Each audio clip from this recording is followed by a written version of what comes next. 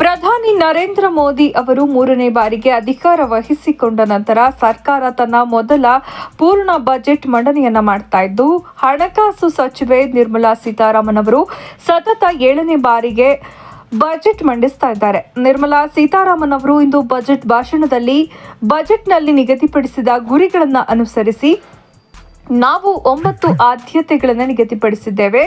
ದೇಶದ ನೂರು ಜಿಲ್ಲೆಗಳಲ್ಲಿ ಡಿಜಿಟಲ್ ಬೆಳೆ ಸರ್ವೆ ಮಾಡಲಾಗುವುದು. ನಿರ್ಮಲಾ ಸೀತಾರಾಮನ್ ಘೋಷಣೆ ಮಾಡಿದ್ದಾರೆ. ಎರಡು ಸಾವಿರದ ಇಪ್ಪತ್ನಾಲ್ಕು ಇಪ್ಪತ್ತೈದನೇ ಸಾಲಿನ ಕೇಂದ್ರ ಬಜೆಟ್ನಲ್ಲಿ ಕೃಷಿ ಮತ್ತು ಸಂಬಂಧಿತ ಕ್ಷೇತ್ರಗಳಿಗೆ ಒಂದು ಪಾಯಿಂಟ್ ಐದು ಎರಡು ಲಕ್ಷ ಕೋಟಿ ಮೀಸಲು ಇಡಲಾಗುವುದು ಅಂತ ಹೇಳಿದ್ದಾರೆ.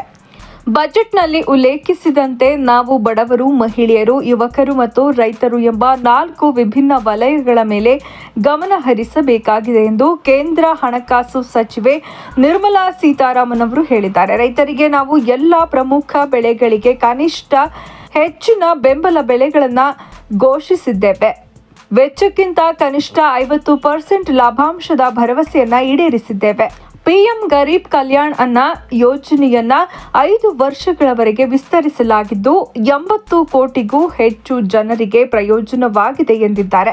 ಉದ್ಯೋಗ ಮತ್ತು ಕೌಶಲ್ಯಕ್ಕೆ ಅನುಕೂಲವಾಗುವಂತೆ ಐದು ಯೋಜನೆಗಳ ಪಿಎಂ ಪ್ಯಾಕೇಜ್ ಘೋಷಿಸಿದ್ದು, ಸಚಿವರು ಮೋದಿ ತ್ರೀ ಪಾಯಿಂಟ್ ಝೀರೋ ಸರ್ಕಾರವು ಶಿಕ್ಷಣ, ಉದ್ಯೋಗ ಮತ್ತು ಕೌಶಲ್ಯಕ್ಕಾಗಿ ಎರಡು ಲಕ್ಷ ಕೋಟಿ ರು ಮೀಸಲಿಡಲಾಗಿದೆ. ಪ್ರಧಾನಮಂತ್ರಿಗಳ ಪ್ಯಾಕೇಜ್ನ ಭಾಗವಾಗಿ ಉದ್ಯೋಗ ಸಂಬಂಧಿತ ಪ್ರೋತ್ಸಾಹಕಗಳಿಗಾಗಿ ನಮ್ಮ ಸರ್ಕಾರ ಮೂರು ಯೋಜನೆಗಳನ್ನು ಜಾರಿಗೆ ತರಲಿದೆ ಎಂದು ಹಣಕಾಸು ಸಚಿವೆ ನಿರ್ಮಲಾ ಸೀತಾರಾಮನ್ ಹೇಳಿದ್ದಾರೆ.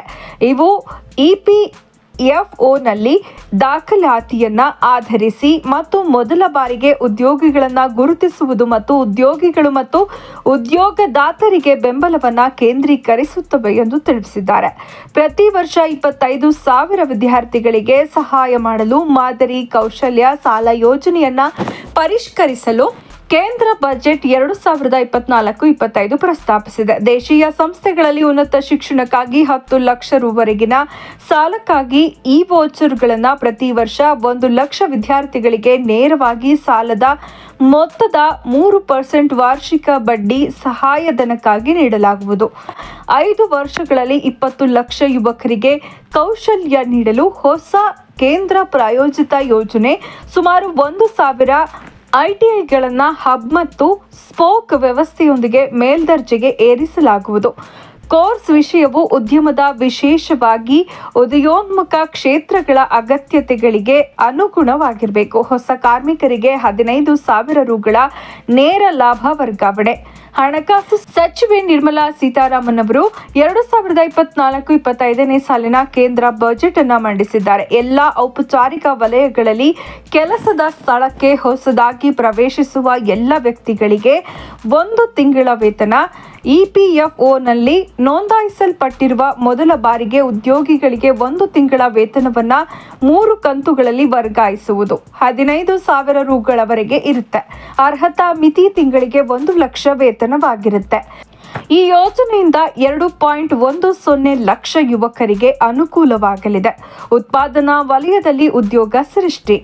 ಬಜೆಟ್ ಎರಡು ಸಾವಿರದ ಇಪ್ಪತ್ನಾಲ್ಕು ಲೈವ್ನಲ್ಲಿ ಉತ್ಪಾದನಾ ವಲಯದಲ್ಲಿ ಉದ್ಯೋಗ ಸೃಷ್ಟಿಯನ್ನ ಮೊದಲ ಬಾರಿಗೆ ಕಾರ್ಮಿಕರ ಉದ್ಯೋಗಕ್ಕೆ ಲಿಂಕ್ ಮಾಡುವ ಮೂಲಕ ಹೆಚ್ಚಿಸುವ ಯೋಜನೆಗಳನ್ನು ಹಣಕಾಸು ಸಚಿವರು ಘೋಷಿಸಿದ್ರು.